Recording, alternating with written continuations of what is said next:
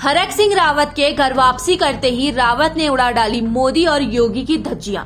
उत्तराखंड के पूर्व कैबिनेट मंत्री हरक सिंह रावत अपनी बहु अनुकृति के साथ कांग्रेस में शामिल हो गए।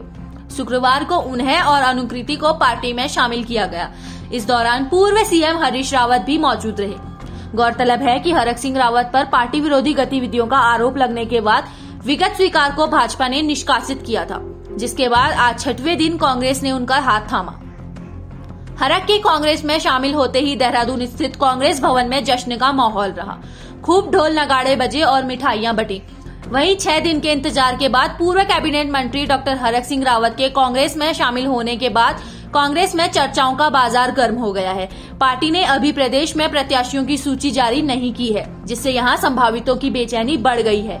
साथ ही संगठन के कई पदाधिकारियों ने भी रोष जताया है। वर्ष 2012 में रुद्रप्रयाग विस से कांग्रेस के टिकट से विधानसभा पहुँचने वाले डॉक्टर हरक सिंह रावत की छह वर्ष बाद फिर से पार्टी में वापसी हुई है। भले ही पार्टी के कुछ नेता कार्यकर्ता हरक सिंह रावत की वापसी को कांग्रेस के लिए संजीवनी बता रहे हैं।